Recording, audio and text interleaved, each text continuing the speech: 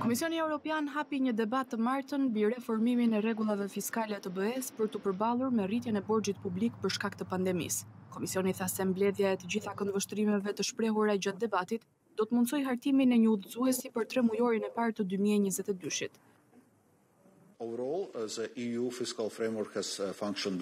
Në tërësi, korniza fiskale e BE-së ka funksionuar mirë. Ajo ka ndihmuar në mbajtjen në kontroll të financave publike dhe në tre për qind të pragut të deficitit, që u kthye në një matës për shmangien e rritjes së tij.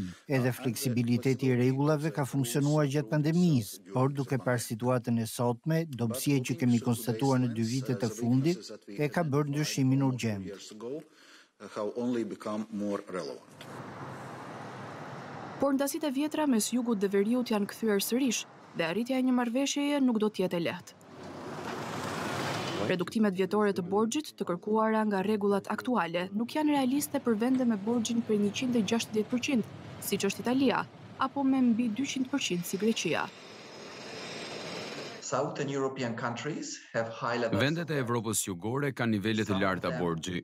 Disa prej tyre mund të ndodhen në një situatë të rrezikshme, sidomos pasi Banka Qendrore Evropiane të ndërpresë lëvrimin e likuiditetit, pasi atëherë kuotat e interesit mund të rriten. Ne kemi bërë disa llogari dhe kemi konstatuar se disa prej këtyre vendeve do t'u duhet të bëjnë riparime fiskale madhore në kuadrin e nivelit të GDP-së, që duhet të jetë pesë deri në gjashtë përqind, gjë që është e pamendueshme.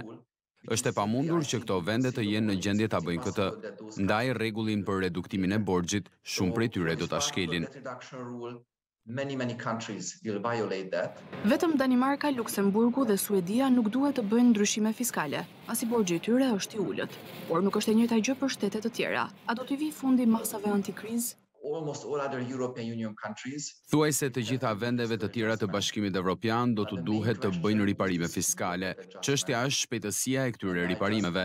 Unë rekomandoj dhe gjithashtu shpresoj që Komisioni Evropian të ketë mësuar nga krizat e mëparshme, siç ishte kriza financiare globale, se konsolidimi i shpejtë fiskal mund të minojë rimëkëmbjen.